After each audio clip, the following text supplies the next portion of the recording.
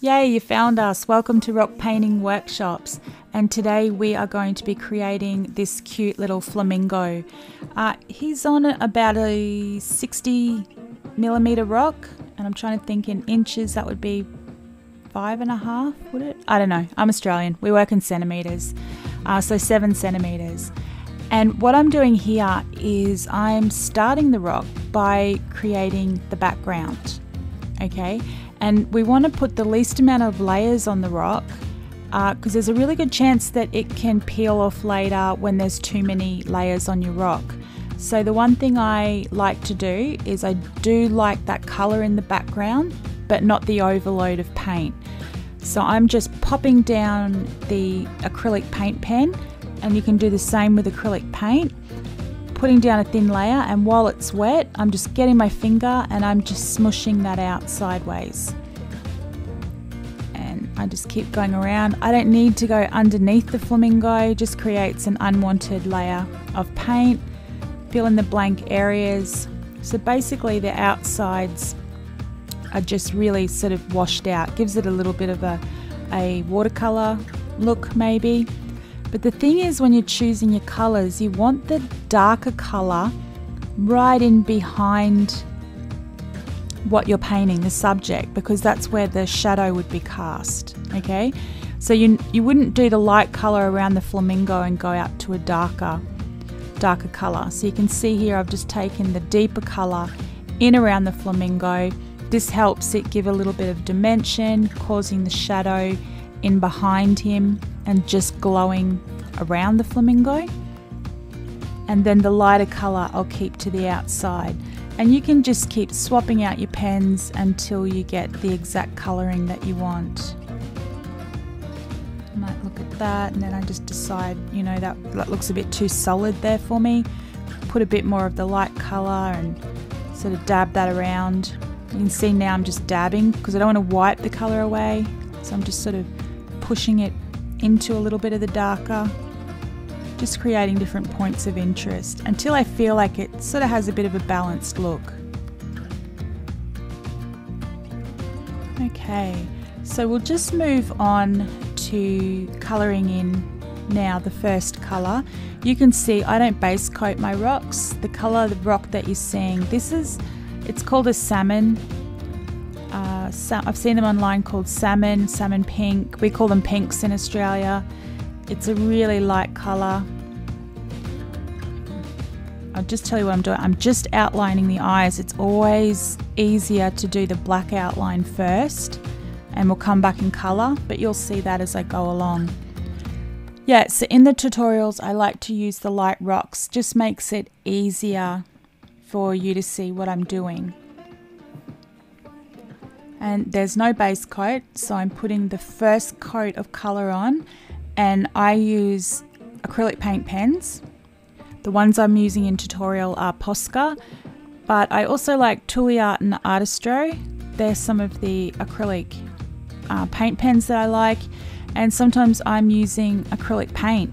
And I like the Americana series on rocks. It just gives a really beautiful coverage on the rocks and you can see on this one sometimes the it's hard for the, the light pink to pick up on camera so it's going to depend on your viewing platform to how much of the color you can see. But with the first layer you know there are going to be some rocks where it just might absorb into the rock a little bit. Your rock might be a little bit porous. And so some people put down you know 3 million base coats to stop that from happening but I'd like to communicate with you that it's actually a good thing when it happens you want that uh, first bit of paint to sort of soak in and have a relationship with the rock because a lot of the time when you put the base coats over it, you're repelling the paint from the rock and it's really easy for it to completely peel off. And I've got lots of examples of when that's happened. So here I'm just putting down the thin layer, uh, one even coat. You can see I'm not doing it too thick there's no sense in trying to get the finished look right in the beginning. Okay, you just want to lay down that nice thin layer and let it dry. It only takes like a minute to dry as well. So just keep adding the colour. I've gotten that little bit of background in between his legs there. So just added that in.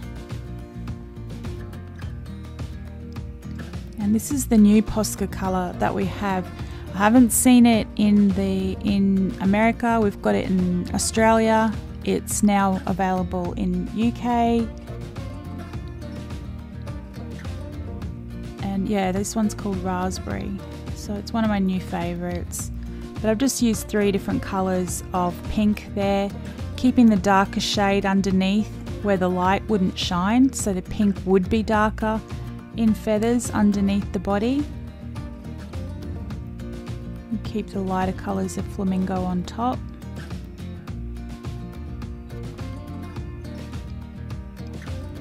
And this one I'm just going to do the yellow. It's the, oh, I can't remember what it's called, let me think a minute. The sunshine yellow. I knew it, it's one of the pastel colours of Posca. So it's not the regular yellow, this one is the pastel yellow. I just like the shade of this one. Okay, come across, colour that in. And it's pretty boring watching another person colour, isn't it? Maybe not, I don't know. But it's giving you heaps of, heaps of opportunity to do your own. So you can see at the beginning I, I started with my image on the rock and I've got lots of tutorials, video tutorials, photo tutorials, and I've got my um, course as well that you can come along and do. And I show you how to put the drawing onto the rock. So it's not a secret, it's out there.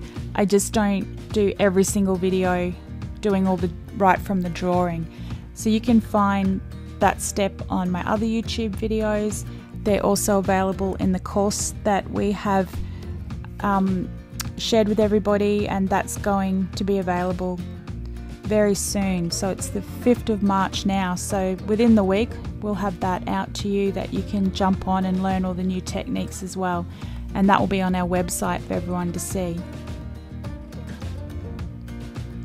Okay, so now I'm just coming over because the paint's dry, I'm just doing the second layer. So you can see nice thin second layer and I've got a really good opaque coverage now and that's all it took. You can see how solid that colour is. That's what we're looking for. So while the first colour, you know, might might look a little bit washy or might not look exactly right. So many people they just keep colouring and colouring and colouring, trying to get the great look on the first coat, and all that does is actually start blocking up your pens. So you just want to do nice thin layer, let it dry, nice thin layer and it's not a lot of people saying oh but i don't like to wait and i don't like this. It's like i don't wait. You can see this is in real time. You can see by the time i covered the whole rock in one layer it was dry ready for the second layer. So this is what i do because i did my black outline first. You can see i'm using my white to fill in the spaces but if the black line's too thick i go back over I can colour in and go over some of the black and thin that line out as well. Now we're going to do some shading. Okay, so what I've got is, I showed you in the beginning, we've got a glass of water. I've dipped my paintbrush into that water. You can see I'm, it's off screen, sorry.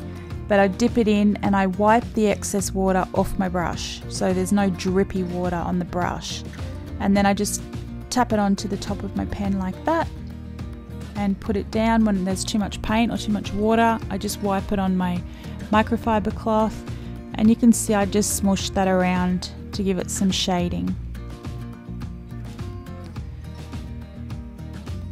And I've done exactly the same thing. So right in where the join is is where it's darker, where the shadows are really, you know, where the light can't penetrate as much.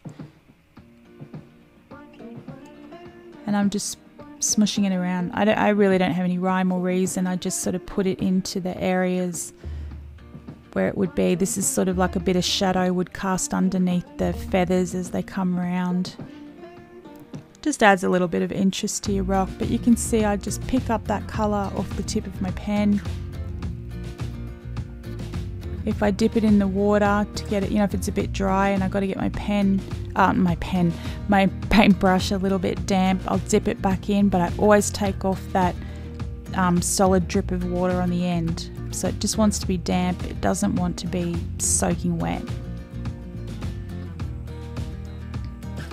This is just something, you know, that you can play around and practice with because if it's too, if the brush is too dry, it just won't move the paint at all. If it's too wet, it becomes, you know, a bit of a sloppy mess. I'll just give him some rosy cheeks. Keep calling a him. It's him, he or she, who knows, whatever. I know nothing about flamingos. I've never seen one. I have no idea what part of the world they live in, except I've seen some pictures where they walk across a beach. You know, in Australia, we have emus. Shading that head a little bit. Yeah, so my flamingo knowledge is limited to cartoon pictures, colouring in books, or like I said, I've seen that um, where they walk across the beach. Okay, now I'm going to have to get, when as soon as I finish this, I'm going to have to go and Google where they actually live in the world. That'll annoy me now that I said I have no idea. Okay, let's put a little bit of orange blending his legs.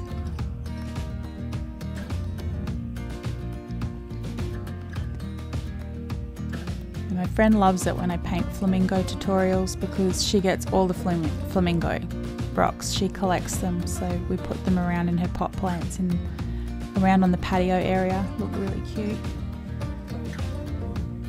Okay, that's probably it for shading. Grabbing my uh, acrylic paint fine liner pen and my pet rock Bert.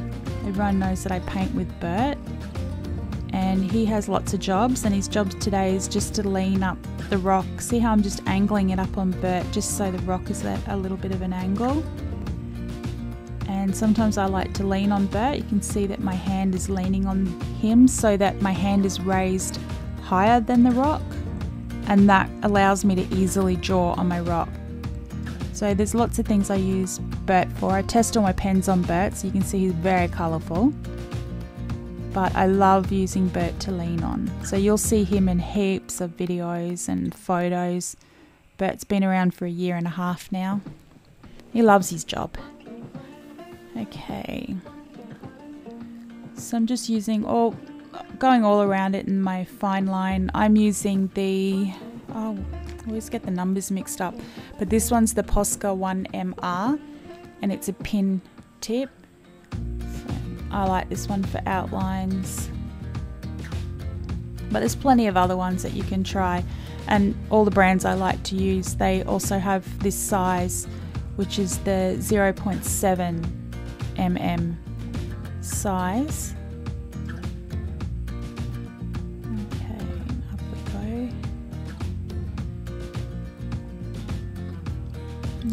Get into his wing. Start defining out all the feathers.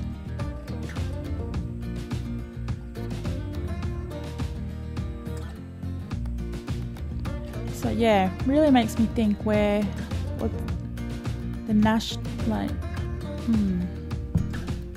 Sorry, I'm thinking out loud. I do that a lot when I'm videoing. Just trying to think like what country does the flamingo come from or is it like from heaps of countries, just not Australia. Okay, let's come around Like I've said, I'll always be fascinated to see a flamingo, but I'm not sure. Like, are they a little bit scary to see? Because I know in Australia we have the emu and they're really cute, and you know we think, oh yeah, we want to see an emu. The first time I saw an emu was we were at a picnic one day and we had all the kids at the um, picnic table and we had all the food out, and these emus just came up and bombarded us and started taking all our food. So it just became, oh, I've just gone off the line a little bit there yeah, it became a trauma. so, I mean, a flamingo's the same. I don't know.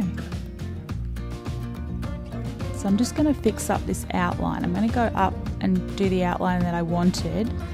And I've got to let that little bit of black paint dry.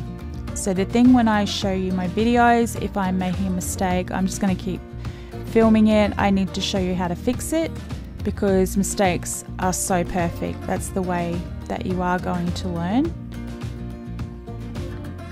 Okay, just putting a little bit of darker colour in there just helps with the shadow.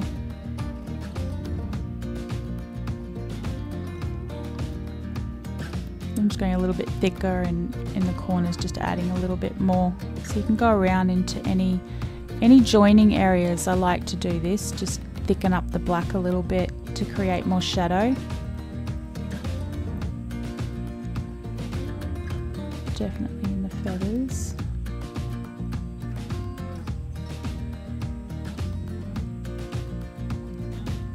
Yep. Little bit of shadow where the wing would join across the body there. Okay. So yeah, you can fix any mistake with the with the pens because they are layerable. As long as they're dry, you can go back over them. And I just forgot to shade in his beak, but I want a little bit of orange, sort of like we did on his leg. The orange on the yellow looks really good. But yeah, because they're layerable, as long as you wait for them to dry, you can stick another colour straight over the top, which is what we're going to do up on the top of his head, that black line to fix it. So I'm just filling in time and allowing that to dry. Okay, so let's turn that around. Okay, I'm just going to get the pink pen straight out and I'm just going to go straight over the top. And because it's dry, the colour will start layering up on the top there. Okay, there we go I'll just soften that edge down a little bit, add a little bit of the pink back into it. Now if you do this too soon and the black paint was still wet and you tried to put the pink on top of it, obviously the two wet colours are going to start bleeding together. So then you're going to get a really muddy, muddy mess. But you can see how I left it to dry, then I've popped some paint on top and it's just fixed up that line beautifully. But what I'm doing now is taking the darker colour and I'm just going right around close into the edges because that's where it will be the darkest. This is going to help us define it and sort of give us a little bit of separation. So it just doesn't look so flat on the rock, just helps it pop up a little bit. But that darker colour will be just around, it'll just be the shadow casting in behind him. Add that.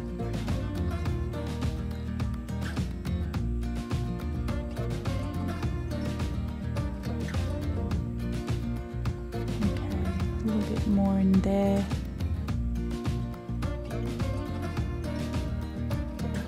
Yeah, so what I'm going to do too is I will have some drawings available probably in the next week.